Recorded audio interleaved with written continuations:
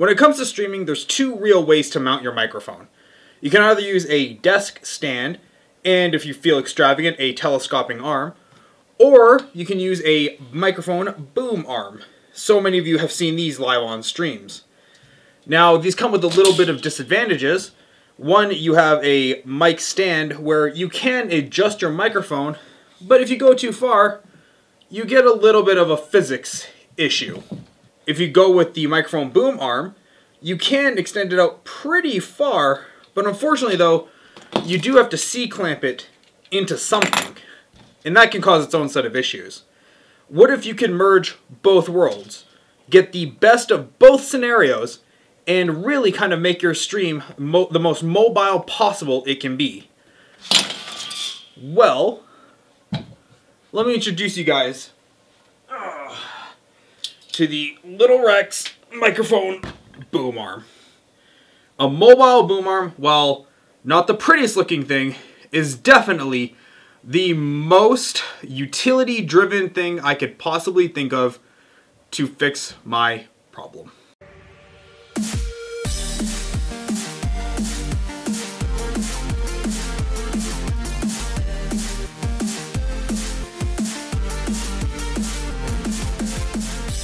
AverMedia GC550 capture card gives you 1080p, 60 FPS, uncompressed recordings, and a USB 3.0 external device. Compatible with all consoles, you'll never have a problem getting the live stream you want. Click now to learn more. So for this project, I took an existing microphone desk stand that I had and a boom arm I had laying around. And I noticed that, well, if I could attach the boom arm to the stand, I could actually move it in theory. Now, there was a small hiccup as when you took off the top of this, you found that it did have a solid top. Now with some other desk stands, you'll find that they have a hollow core. If that's the case, you can just drop this thing right in and call it good. If not, you can go to your local hardware store and pick up one of these 3x4x3 Gavitron Tridons.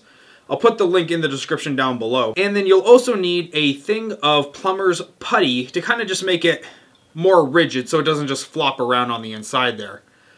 And of course, as you guys can see, there is three five pound weights. As we mentioned at the beginning, there's that aforementioned physics issue where if you go too far out, the whole thing will tip over. Not if you add 15 pounds of extra weight. So I know you're thinking, Rex, this is going to make your project awfully expensive. Well, the metal bit here is two bucks, the plumber's putty is about five bucks, and the 15 pound weights will run you anywhere between $7.5 and $15. So, all in all, you're looking at about 20 bucks worth of materials. Plus, hey, if you ever really get bored, you can sit on your desk and get a good, solid pump in. Yeah, feel the gains. So, how do we do this? Well, you want to start by taking your metal bit and fitting it on the correct way. As it is, it will only go on it will only go on properly on one side.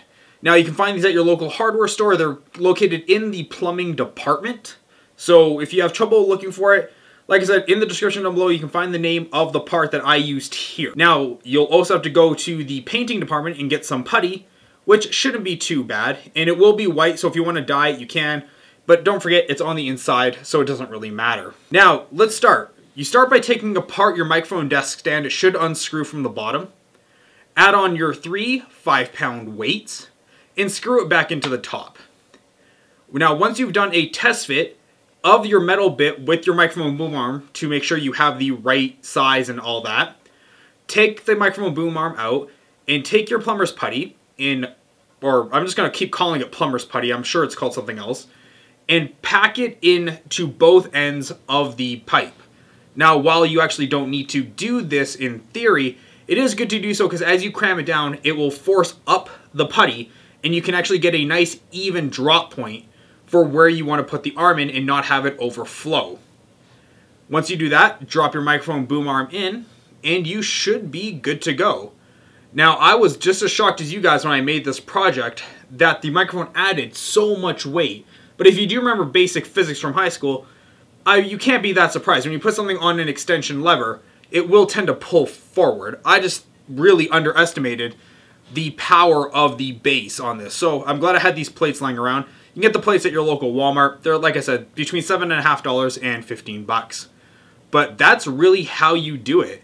Now that you have a mobile microphone arm, if you want to move it closer, you can, from two different sides, and not really have to worry about how it's going to be. You can get that nice, deep, rich sound that everyone on Twitch is so anxious to hear. So, if you guys like this video, please like, comment, share, and subscribe. Any questions at all, leave them in the comments down below. And guys, thanks so much for tuning in. I've been Rex, and I will see you next time. Bye.